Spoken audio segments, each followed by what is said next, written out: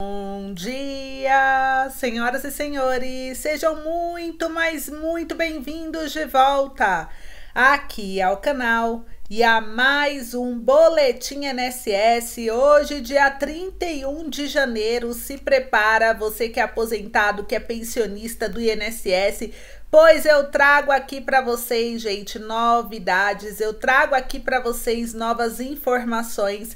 Vamos trazer aqui agora sobre o aumento de 9%. 9% e eu vou trazer aqui para vocês, inclusive, né, uma surpresa dos pagamentos liberados. Então é importante vocês acompanharem aqui junto comigo.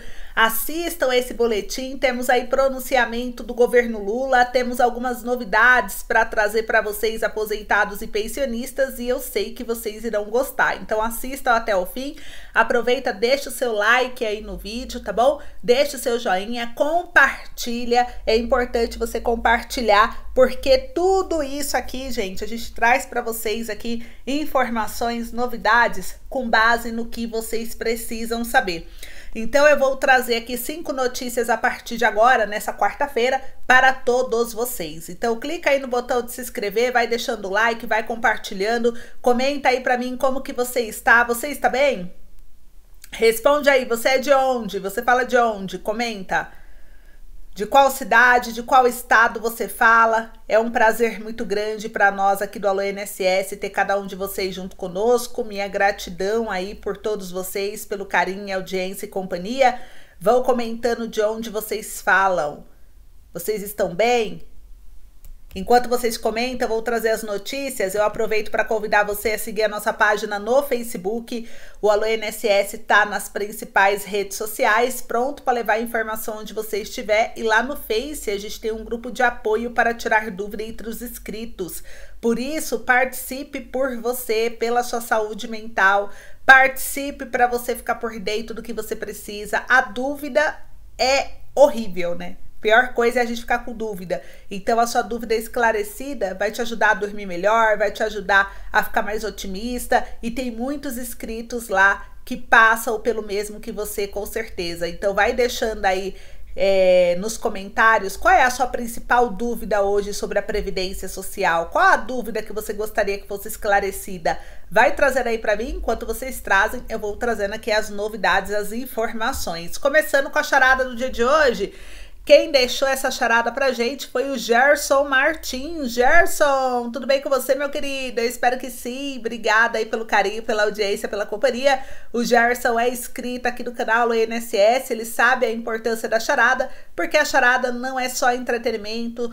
Charada é qualidade de vida e já foi provado cientificamente que esse tipo de exercício ajuda a estimular a mente prevenindo aí o mal de doenças mentais quanto o próprio Alzheimer. Por isso, participe por você, participe pela sua saúde mental e responde aí para mim, comenta aí para mim, né? Se você sabe essa charada, que é o que é, qual a diferença do Vasco para o Titanic?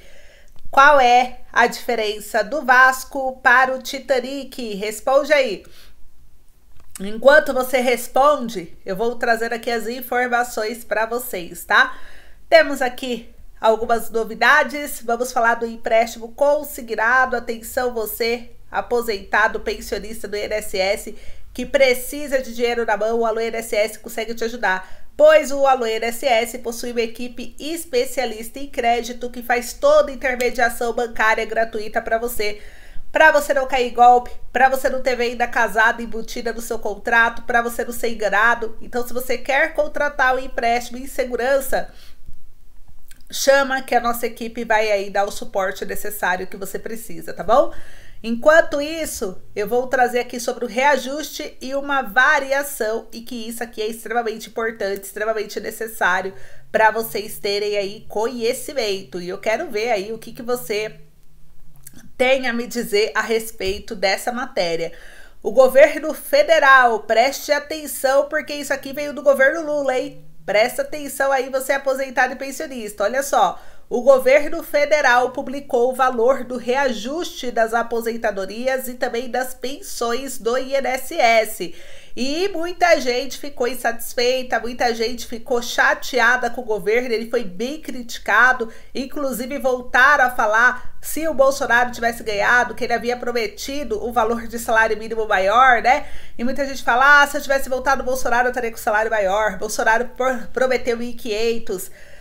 O Tarcísio também prometeu 1.500 e cumpriu em São Paulo, então o Bolsonaro teria cumprido. Então, isso tudo enfraquece aí bastante o governo Lula e isso pode fazer com que o Lula resolva, quem sabe, aumentar o salário de vocês mais um pouco.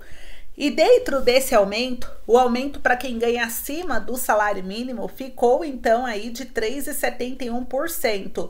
Já quem ganha o salário mínimo ficou 1.412. Um ponto importante que muita gente não entendeu e se decepcionou mais ainda foi que esse reajuste para quem ganha acima do mínimo, ele ainda é proporcional ao mês que a pessoa começou a receber o benefício. Por exemplo, uma pessoa que ganha R$ 1.500, né?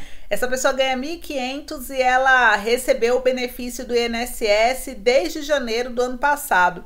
Essa pessoa, ela vai ter o aumento de 3,71 em cima dos 1.500, né? Agora, aquela pessoa que começou também a receber 1.500, só que ela recebeu os 1.500 só em agosto do ano passado, por exemplo. Ela recebeu no segundo semestre do ano, que começou a receber o benefício, não recebeu o ano inteiro, né? Então não pega a inflação inteira. Então esses mesmos 1.500 vai ser pago uma diferença muito menor. Por quê? Porque a pessoa não teve o ano inteiro de benefício. Ela teve só metade do ano, então vai dividir esses 3,71 pela metade. Ela não vai pegar 3,71 de reajuste. Essa pessoa, ela vai pegar aí um valor bem menor, né? E aí, muita gente ficou preocupado, porque falou: "Nossa, eu não tive aumento nenhum". E realmente, teve muitas pessoas que quase não tiveram aumento mesmo, tá, gente? E quem são essas pessoas que quase não tiveram aumento? São aí os beneficiários do INSS que receberam o benefício já no fim do ano, tá?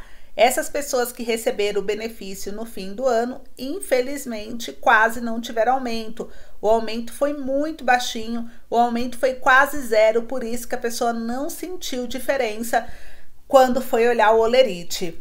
E quem ganha o teto do INSS hoje ganha R$ 7.786. Então vocês viram que os valores foram bem menor, né, do que a previsão aí que estava do governo federal até no próprio orçamento. Muita gente chateada com o governo porque esperava que o governo fosse dar um reajuste melhor, já que o Lula disse que ia governar para os pobres que é governar para quem ganha pouco, já que eles deram um aumento maravilhoso para eles, o povo falou: ah, eles também vai aumentar o do povo, né? Mas aí se enganaram, pois eles aumentaram deles, tanto que agora em fevereiro os políticos estarão aí recebendo o valor é, de quase 3 mil reais de salário a mais, né? Mas o aposentado, o pensionista, o pobre, assalariado, o trabalhador, infelizmente, eles não vão ter esse luxo dos políticos, não. Isso é só para político, né? O trabalhador, coitado, ele vai ganhar essa, só essa micharia aí que o governo aprovou, tá? É, dentro disso, a gente vai analisar um pouquinho os aumentos. Eu fiz aqui, apresento para vocês aqui nessa matéria que trouxe essa tabela, que é importantíssimo para vocês entenderem um pouquinho sobre os aumentos salariais, uma evolução do valor reajustado de acordo com o mês início do pagamento, igual eu falei, né? Uma pessoa que ganha R$ 1.500 desde janeiro do ano passado, ela começou a receber agora R$ 1.555. Só que aquela que também ganha R$ 1.500 ano passado, mas começou a receber em fevereiro do ano passado, é proporcional a 11 meses, não 12, o aumento. Então ela ganha R$ 1.548, não os R$ 1.555. Aquela pessoa que ganha aí esses R$ 1.500 e começou a receber em março, ela também não vai receber nem 1.555, nem 1.548 igual o beneficiário começou a receber em janeiro e fevereiro. Ela começou a receber em março, então ela vai receber menos ainda. Ela vai receber só 1.536, só R$ reais de aumento ao invés de ser os 55. Quem começou a receber em abril, menos ainda, só vai receber 26 reais de aumento. Quem começou a receber em março, só 18 reais de aumento. Quem começou a receber em junho, só 13 reais. Então vocês percebem que o valor é muito baixinho. Quem recebeu em dezembro os R$ 1.500 e foi aí contemplado em dezembro, só está tendo R$ reais de aumento nesse exemplo de 1.500. Então ele mostra a tabela de reajuste como que fica o salário de vocês. Quem ganha R$ mil tá ganhando 74 reais de aumento. Mas para ganhar 74 de aumento, você que ganha dois mil reais, você tem que estar tá recebendo o seu benefício desde janeiro do ano passado ou antes. Agora, quem começou a receber no meio do ano para cá, por exemplo, esses mesmos dois mil reais, vai ser 2,74 para quem já é mais antigo de previdência, para quem é mais novo de previdência, que, por exemplo, se aposentou em maio, ao invés de pegar os 74 reais de aumento, vai pegar só 25 reais de aumento. Então, ao invés de ir para 2.074, mesmo a pessoa ganhando 2.000, igual aquela que começou em janeiro, ela tem um reajuste menor, então ela vai ganhar menos esse ano. Entenderam? Por causa da questão de reajuste salarial. Então, a gente prevê, isso daqui mostra claramente o quanto é injusta a questão de valorização salarial no Brasil o quanto fica defasado o salário do povo brasileiro. Por isso que os aposentados, os pensionistas têm que lutar cada dia que passa, cada vez mais, para um salário melhor e mais digno, porque senão, gente, vocês sempre vão ganhar pouquinho, vocês sempre vão ter esses valores, né, que é absurdo essa desvalorização salarial que vocês vêm tendo. E a gente vê isso claramente, mas infelizmente, né, o governo ele não se move porque as pessoas elas acabam aceitando esse tipo de comportamento do governo. Então, se você quer melhorias salariais, você tem que começar a cobrar o governo por essas melhorias, senão o salário vai sempre de mal a pior.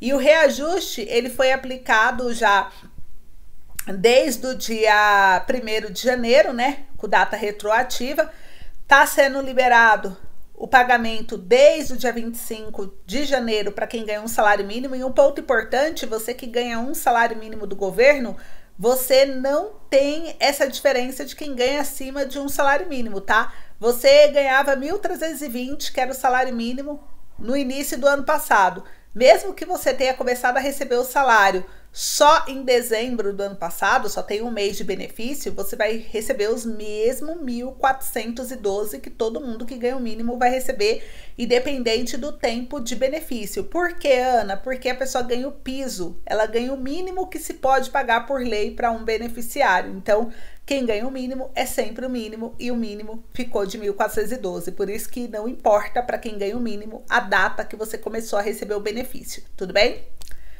Agora eu quero trazer para vocês, já que a gente está falando de aumento, a gente falou desse aumento salarial que muita gente está criticando o governo porque acha que o governo de, daria para dar um aumento melhor e ele não deu porque ele não quis. Então isso gerou aí uma repercussão bem grande, né?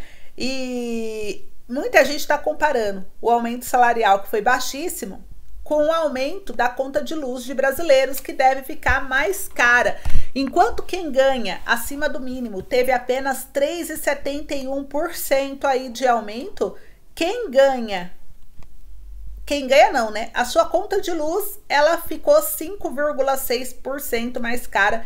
Essa é a previsão média para ficar mais cara. Então, como pode? Você só teve 3% de aumento, mas só a conta de luz sozinha tá aumentando quase 6, quase o dobro do que você teve de aumento, né? Isso daqui foi uma projeção enviada pela Agência Nacional de Energia Elétrica, que é a ANEEL, que foi divulgada agora na semana passada. A previsão estava acima da média de inflação projetada para o período, que foi de 3,87. E de acordo com especialistas do mercado financeiro consultados pelo Banco Central, no ano passado a ANEEL estimou que o aumento das tarifas das distribuidoras de energia seria de 6,8% mais alta, verificado que foi de 5,9%. Então a gente vê aí que a entidade né, ela reajusta anualmente as tarifas cobradas pelas distribuidoras na data de aniversário da concessão. e três fatores aumentam a conta do consumidor na conta de luz. Segundo a agência, são a expansão da rede de transmissão, a conta de subsídios que tem crescido nos últimos anos, a energia contratada no mercado cativo, em que o consumidor é obrigado a comprar da distribuidora local. E os subsídios devem alcançar agora esse ano de 2024, como vocês estão vendo aqui junto comigo, né? Ele deve aí alcançar, pessoal, uma o maior valor da série histórica da Agência Nacional de Energia Elétrica, 37,2 bilhões de reais. A maior parte desse valor será custeado pelos consumidores, que é 32,7 bilhões. Para esse fim, serão incluídos dois encargos nas contas de luz e os encargos são pagos por meio da conta de desenvolvimento energético que tem como receitas multas aplicadas pela ANEEL, recursos de pesquisa e desenvolvimentos não utilizados pelas empresas, valores pagos pelas hidrelétricas pelo uso do bem público, aportes do Tesouro Nacional, recursos da Reserva Global de Reversão, que é o encargo pago por geradores, transmissores e distribuidoras, e cotas pagas pelo consumidor. Então a gente vê aí, né? Vamos nos preparando para as mudanças, mas aí fica uma reflexão que enquanto o governo fala que a inflação foi só isso, a gente vê aí a previsão do aumento da conta de energia, que vai ser de quase 6%, enquanto o salário de vocês não chega nem a 4 de reajuste. Então a conta não fecha, percebem?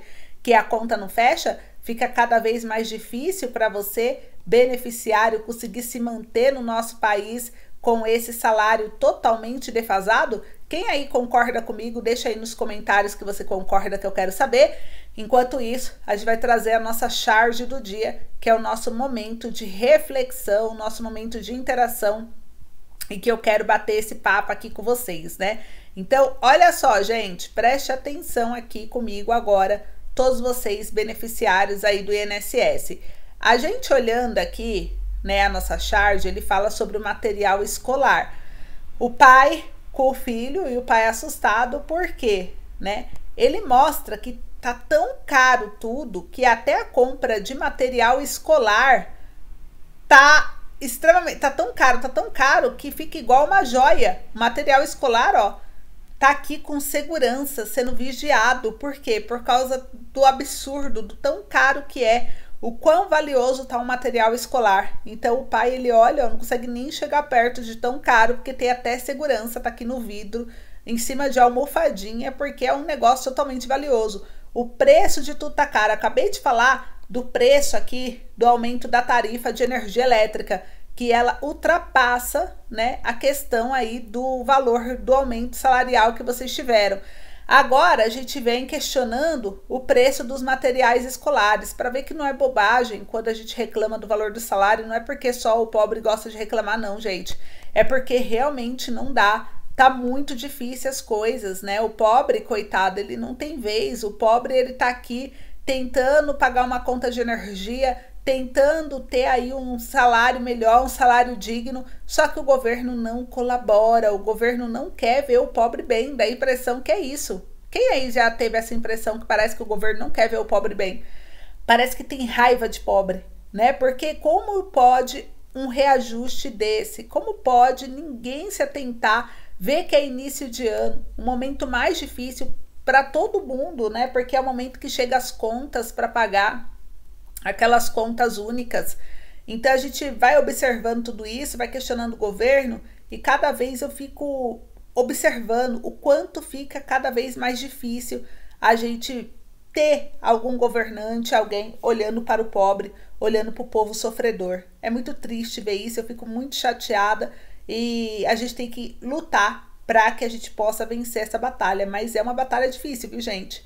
Não é fácil não, né? Vão comentando aí para mim o que, que vocês estão achando. Enquanto isso, eu vou falar um pouquinho dos pagamentos liberados aí para vocês.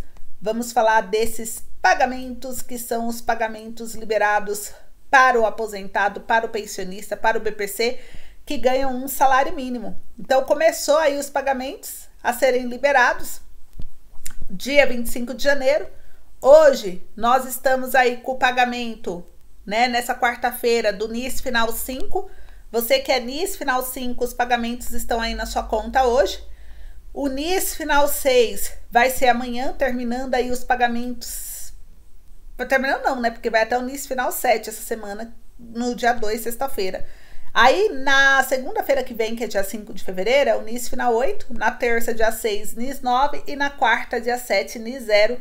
Concluindo aí o calendário de pagamento dos beneficiários da Previdência Social. Então, a gente percebe o quanto os beneficiários aí do INSS, eles estão necessitados, né, gente? Eles estão precisando realmente do pagamento, eles estão aí realmente em busca de ajudar, né? O, o beneficiário ele precisa de uma ajuda para pagar essas contas e tudo.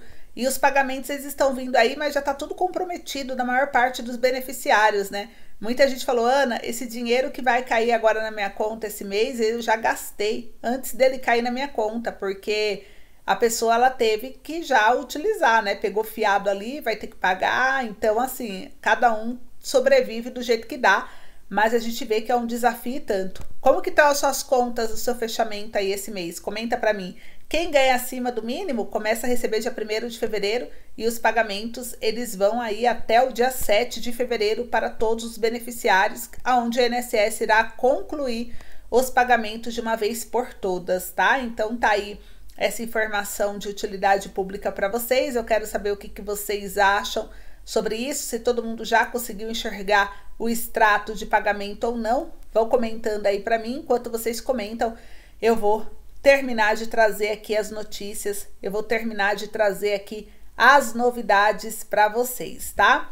Vamos falar do curso do Geladinho Gourmet para quem precisa de grana extra. Tem alguém precisando de dinheiro aí? Alguém precisa de grana extra? Tem alguém precisando? Comenta aí para mim. Ou tá todo mundo bem, ninguém precisa de grana extra. Aposto que todo mundo tá precisando de uma graninha extra iria ajudar bastante aí cada um de vocês, né?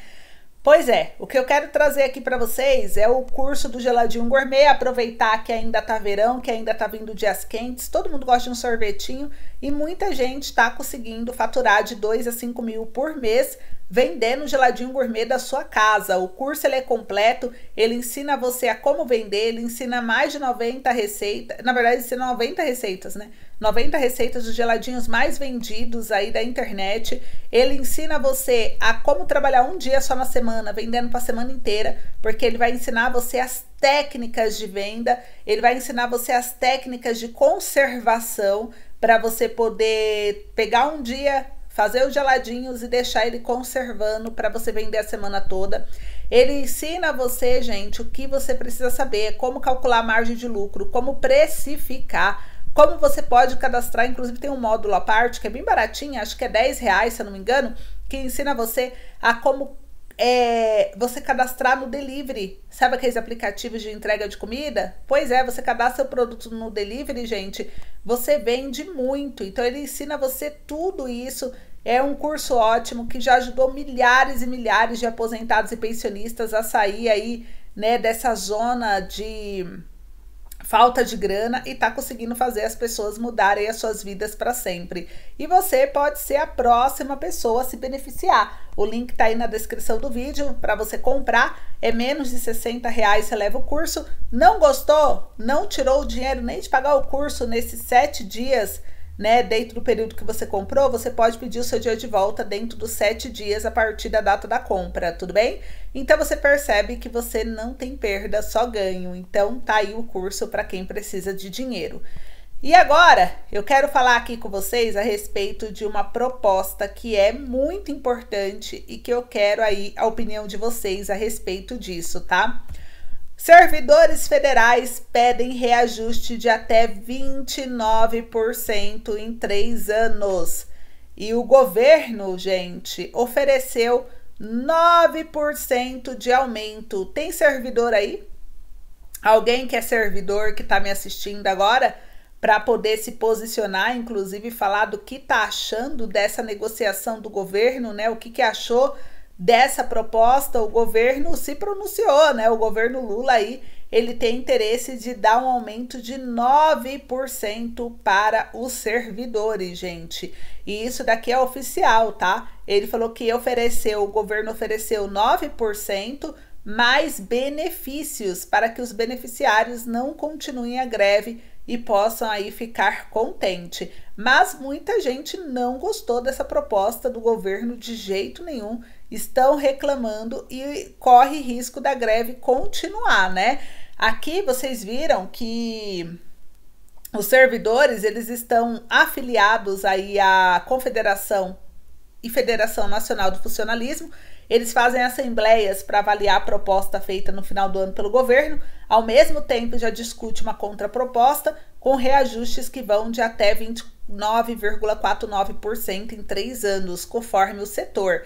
O cálculo foi elaborado pela subseção do DISE. As entidades elas realizam plenária virtual para confirmar o resultado das assembleias e foi a vez do Fórum das Entidades Nacionais aí dos Servidores Públicos federais realizar sua plenária. No estudo diz, ele afirma os servidores, os percentuais apresentados consideram perdas e reajuste dos últimos anos e projeções de inflação. Assim, a contraproposta tem duas reivindicações de reajuste, 18,30% e 29,49% a ser paga nesse e nos dois próximos anos. O Instituto considerou a inflação de maio de 2016 a dezembro do ano passado além das projeções de IPCA e BGE para 2024 e também para 2025. Por meio do Ministério da Gestão e da Inovação em Serviços Públicos, o governo não apresentou índice de reajuste salarial para esse ano, propôs aumento de 52% no auxílio alimentação, que a partir de maio valeria mil reais. Além disso, reajustes de 51% per capita na saúde suplementar e o mesmo percentual para assistência pré-escolar.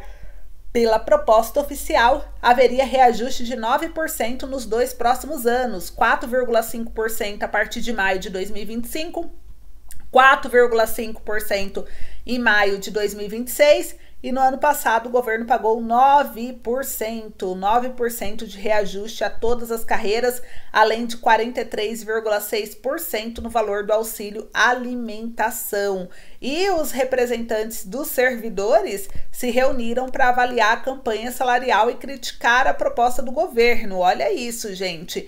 Para os líderes da categoria, o que foi oferecido não contemplou as reivindicações mais urgentes do funcionalismo. A maioria com congelamento salarial de quase uma década. O secretário-geral da Condicef, da FENADCEF, Sérgio Ronaldo da Silva, ele disse que os trabalhadores têm urgência, gente. Olha isso, né? Ele disse que eles têm urgência e queremos que nossa remuneração seja atendida agora para já em 2024. O aumento para servidores de 9% e o mínimo para as pessoas não tem aumento. O que vocês acham? Vou comentando aí desse aumento que teve 9%. Você aceitaria ou você acha que o governo tem que honrar com aquilo que os servidores pediram e que foi acordado no ano de 2022? Vai comentando aí para mim. Enquanto vocês comentam, eu vou trazendo aqui para vocês novas informações também, falando da revisão do artigo 29, que eu vi que muitos de vocês pediram para eu trazer. Então eu trouxe, né, gente? Porque aqui quem manda é o beneficiário. Toda vez que vocês pedem para eu trazer um tema específico, eu venho correndo e trago para vocês, que eu sei que o tema é importante para vocês, eu sei que isso vem ajudar vocês.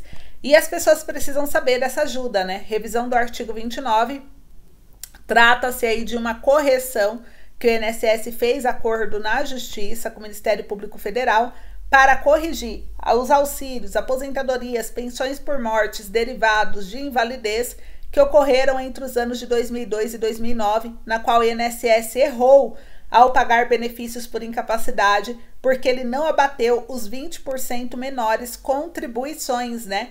Como eles não abateram as 20% menores contribuições, os beneficiários tiveram o cálculo das menores contribuições que eram para ter sido excluídas e não foram no cálculo da média do benefício. Isso fez o benefício para baixo para muitas pessoas que, te, que tinham contribuições mais altas no decorrer da vida. E aí foi feito esse acordo, na qual a INSS se comprometeu em até 13 anos, né, fazer o pagamento para todos os beneficiários de forma automática. Só que muita gente ficou de fora e as pessoas querem saber se esse ano o INSS vai pagar o restante. Por enquanto, o INSS ainda não se manifestou em relação a isso, tá, gente? Mas a gente está cobrando, a gente vai pressionar. Agora que o Congresso está voltando de recesso, porque a desculpa deles é tudo que eles estão de recesso, né? Então vamos esperar agora que eles voltam de recesso já essa semana e a gente já começa a cobrar esses pontos que ficaram pendentes, beleza? Pode deixar que eu me comprometo de estar tá cobrando junto com vocês, tá? Gente, agora, a charada do dia, o que é o que é, qual a diferença do Vasco para o Titanic? É que o Vasco afundou no rio e o Titanic afundou no mar. Olha isso, um beijo para você, Gerson Martins de São Luís, Maranhão. Comenta aí se você acertou, se você errou essa charada muito boa. Eu gostei bastante. Esse foi o boletim de hoje. À tarde eu volto com mais um boletim. Não esquece de se inscrever no canal, deixar seu like, compartilhar. E quem precisar de empréstimo, gente, já sabe que pode contar com a gente. Então nos chama que a gente está aí para te ajudar, tá bom? Um beijo grande, fiquem com Deus, até logo.